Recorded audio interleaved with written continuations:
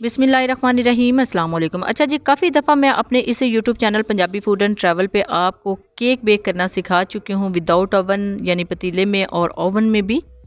लेकिन आज की इस वीडियो में हम इसको बनाएँगे तंदूरी के अंदर with full of tips and tricks यानी इसको किस तरह सॉफ्ट और स्पंजी बनाया जा सकता है। सारी टिप्स एंड ट्रिक्स आपके साथ शेयर करूँगी आज की इस वीडियो में।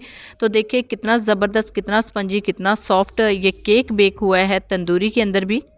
बहुत ही सॉफ्ट, स्पंजी और मॉइस्ट केक बेक करने के लिए किन टिप्स को जहन में रखना ज़रूरी है, ये सारी डिटेल्स आपके साथ शेयर किए जाएँगे आज के इस वीडियो में। सबसे पहले आप इंग्रेडिएंट नोट कर लें कि इसके अंदर क्या क्या जाएगा। रहीम सबसे पहले चीनी ली है वन थर्ड कप इसको हम पीस लेंगे पाउडर फॉर्म में कर लेंगे। एक कप लेवल मैदा लिया है, हाफ़ कप से थोड़ा सा ज़्यादा कुकिंग ऑयल जाएगा। इसके अंदर तीन अदद अंडे, थोड़ा सा vanilla essence one teaspoon baking powder और ये शर्फियाँ। हम बनाने जा रहे हैं टूटी फ्रूटी केक। शर्फियाँ सबसे पहले आपने देखी है ना, काफ़ी बड़े साइज़ की थी, लेकिन इसको कट करके अच्छे से वॉश किया है और खुश करके रख लिया है। अब चलते हैं जी नेक्स्ट स्टेप की तरफ़। रहीम एक स्टेनर लिया है, उसके अंदर ऐड करेंगे एक कप मैदा one teaspoon baking powder baking soda आपने नहीं लेना, बेकिंग पाउडर लेना है और अच्छे से इसको छान लेना है ताकि ये दोनों चीज़ें जो हैं वो अच्छे से यकजान हो जाएँ। तो ये देखिए जी, मैदा अच्छे से छन चुका है, इसको रखेंगे एक साइड पे।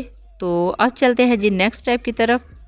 सबसे पहले एक ब्लेंडर जग लिया है, इसमें ऐड करेंगे चीनी रहीम। इसको थोड़ा सा पीस लेंगे। पीसने के बाद चीनी पहले मैंने निकाल ली है और इसके अंदर ऐड किया है कुकिंग ऑयल रहीम। और इसके बाद पाउडर शुगर ऐड करेंगे रहीम। चीनी के ऊपर अगर आप कुकिंग ऑयल ऐड करेंगे ना तो ये नीचे से जम जाएगी। तो इसी वजह से मैंने पहले चीनी को बाहर निकाल लिया था। अब अच्छे से इसको ग्राइंड करना है मिक्स करना है। एक से दो मिनट लगेंगे अच्छे से मिक्स होने में। तीन अदद अंडे ऐड करेंगे रहीम।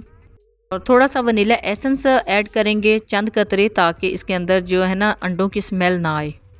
तो ये देखिए जी वनीला एसेंस ऐड कर दिया है रहीम। एक से दो मिनट इसको ब्लेंड करने के बाद अब मिक्स करेंगे मैदे में रहीम। यहाँ पे आपकी बीटिंग बहुत अच्छी होनी चाहिए, यानी जितना अच्छा आप बीट करेंगे ना, उतना अच्छा और उतना फ्लफ़ी आपका केक बनेगा। केक बेक होने के बाद बहुत ज़्यादा फ्लफ़ी और बहुत ज़्यादा मॉइस्ट आपको लगेगा, जितना अच्छे से आप इसको ब्लेंड करेंगे। ब्लेंडिंग में आपने इस चीज़ का ख्याल रखना है कि इसके अंदर जो लम्स है ना, वो सबसे पहले आपने ख़त्म करने हैं।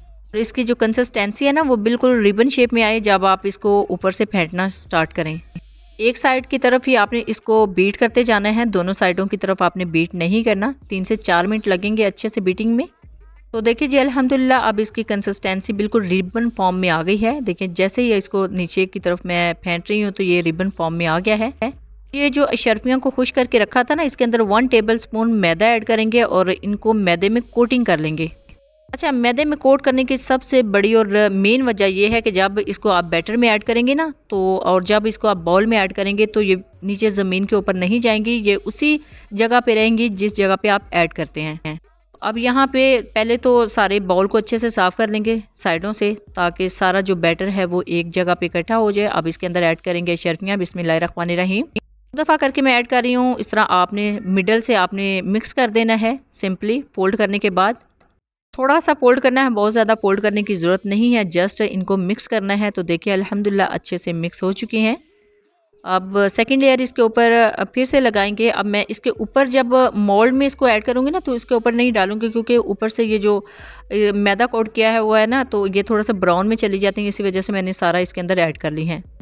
अब मोल्ड में मैंने पेपर लाइनर लगा दिया था बिस्मिल्लाह रहीम इसको सेंटर में ऐड करेंगे। तो सेंटर में ही डालते जाना है, ये खुद बहुत ही स्प्रेड हो जाएगा। तो देखें, अल्हम्दुलिल्लाह अल्हम्दुलिल्लाह, इसके अंदर अच्छे से अशरफियाँ मिक्स हो चुकी हैं। शर्फियों को मिक्स करने के बाद बहुत ज़्यादा मैंने फोल्डिंग नहीं की थी सिंपल इसको थोड़ा सा मिक्स किया था। तो मिडल में ऐड कर दिया है जी, सारा बैटर वो खुद ब खुद ही स्प्रेड हो गया है। इसको थोड़ा सा टैप करेंगे ताकि इसके अंदर जो एयर बबल्स हैं, वो ख़त्म हो जाएँ। यहाँ पे बैटर बिल्कुल कंप्लीट रेडी हो चुका है। अब चलते हैं जी फाइनल बेकिंग की तरफ़। इसमें बिस्मिल्लाह रहीम सबसे पहले मैं तंदूर को ऑन करूँगी। तंदूर को ऑन करना बहुत ही आसान है जी। इसका डेमो मैं इससे पहले ही आपके साथ शेयर कर चुकी हूँ। इसकी अनबॉक्सिंग की वीडियो इसके साथ जितनी भी एसेसरीज थी, वो आपको दिखाई थी उस वीडियो में। देखिए सिंपली इस बटन को ऑन करेंगे और ऊपर से लाइटर की मदद से आप चला सकते हैं। बिसमिल्ल रहीम इसको ऑन करना वैसे तो बहुत ही आसान है ना, लेकिन इस चीज़ का ख्याल रखना है कि इसके एक तो इस वॉल के अंदर एक स्टोव है और एक मिडल में है। हमने मिडल वाले को ऑन करना है। वाल वाला जो स्टोव है, वो रोटियाँ लगाते वक्त आपने ऑन करना होता है तो अभी हमने बेक करना है केक को। तो इस वजह से मैंने मिडल वाला स्टोव ऑन किया है। अब इसको पाँच मिनट के लिए कवर कर दिया, यानी इसको प्री हीट करेंगे। अच्छा जी, तंदूर की अनबॉक्सिंग की वीडियो में ये मैंने स्टैंड आपको दिखाया था। ये भी मैंने ऑनलाइन ही परचेज़ किया है, इसी के साइज़ के मुताबिक। तो स्टैंड के ऊपर मैंने केक को सेट कर लिया है केक मोल्ड को, और इसके अंदर रखते हैं जी। तंदूर भी अच्छे से प्री हीट हो चुका है। अब इसको कवर कर देंगे तकरीबन 35 से 40 मिनट के लिए। अब 35 से 40 मिनट तक हम वेट करेंगे केक बेक होने का। तो ख्याल रखिएगा कि जो हीट है, वो दरमियानी से होनी चाहिए। दरमियानी से भी बल्कि मैंने हल्की कर दी थी। तो अल्हम्दुलिल्लाह जी 35 से 40 मिनट हो चुके हैं, इसको चेक करेंगे।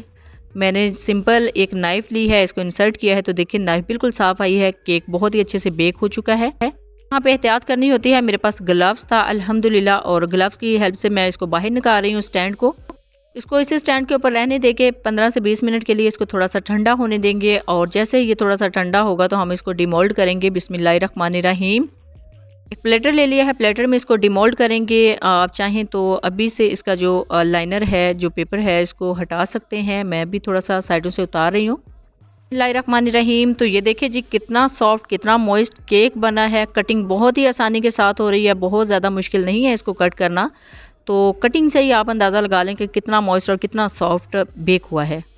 अल्हम्दुलिल्लाह जी, बहुत ही ज़बरदस्त इसके ऊपर कलर आया है। सेम ऐसे ही कलर आया, जैसे आप बेकरी से लेके आते हैं ना केक तो उसके ऊपर भी इसी तरह का थोड़ा सा डार्क शेड में कलर होता है। तो तंदूर में इसको मैंने बेक किया है तो बहुत ही ज़बरदस्त इसका कलर आया है। तो ये देखिए जी इसके अंदर बबल्स भी अच्छे खासे बने हुए हैं ये बिल्कुल जाली नुमा इसके अंदर बना हुआ है तो बहुत ही सॉफ्ट बहुत ही मॉइस्ट केक हमारा बेक हुआ है। तो माशाल्लाह अल्हम्दुलिल्लाह अब मैं आपको मिडल से एक पीस निकाल के दिखाती हूँ तो कितना ज़बरदस्त सॉफ्ट केक बहुत ही स्पंजी बना है। और आप इसके अंदर देख रहे हैं ना ये शर्फियाँ जैसे मैंने इसके अंदर ऐड की थी वैसे ही हैं। ये बिल्कुल ज़मीन के साथ सतह के साथ नहीं लगी मिडल में ही रही हैं। करते हैं जी इसको डिश आउट बिस्मिल्लाहिर्रहमानिर्रहीम। तो देख लें कितना स्पंजी कितना मॉइस्ट केक बहुत ही सॉफ्ट बहुत ही स्पंजी बना है जी। इसका मतलब है कि हमारी ये कोशिश जो है how to bake in tandoor. Tandoor के अंदर बेक जो है, वो हो सकता है कि नहीं। तो आप देख लें कितना बेस्ट और कितना ज़बरदस्त केक बेक हो सकता है। बिल्कुल बेकरी जैसा। बिल्कुल बाज़ार जैसा केक आप घर में इजीली बेक कर सकते हैं। ज़रूरी नहीं कि आपके पास ओवन हो तो आप केक बेक करें। आप विदाउट ओवन भी केक बेक कर सकते हैं। बहुत ज़्यादा जो बेकिंग है वो मैं आपको सिखा चुकी हूँ पतीले में, लेकिन अब फ़र्स्ट टाइम तंदूरी में बेक किया था तो तंदूरी में भी बहुत ही ज़बरदस्त रिज़ल्ट मिला है, अल्हम्दुलिल्लाह। इसके अलावा भी काफ़ी ज़्यादा रेसिपीज़ आने वाली हैं जी, जो तंदूर में हम बेक करेंगे। कुछ और चीज़ें, कुछ और रेसिपीज़ तो ज़रूर सारी बात कीजिएगा। जब भी बनाए अपना फीडबैक ज़रूर दीजिएगा। दुआओं में ज़रूर याद रखिएगा। अल्लाह हाफ़िज़। Thanks for watching